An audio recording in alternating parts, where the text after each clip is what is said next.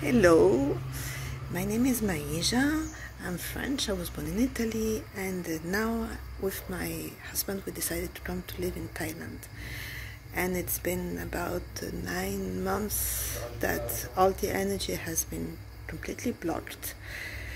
Everything we put out to projects and to make, and even our couple, everything has been really, really completely blocked, like stagnant, like in a, in a quicksand.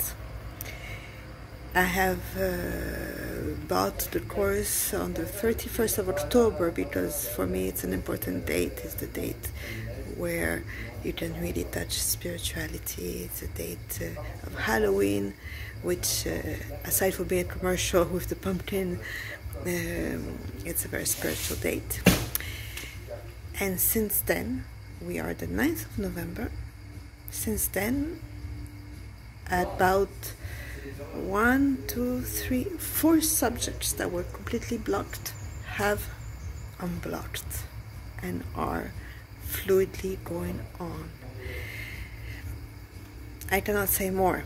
I'm 53 years old. I have seen life, and I know that uh, for things to unleash this way in nine days, there has to be something, some truth in what Wesley's saying.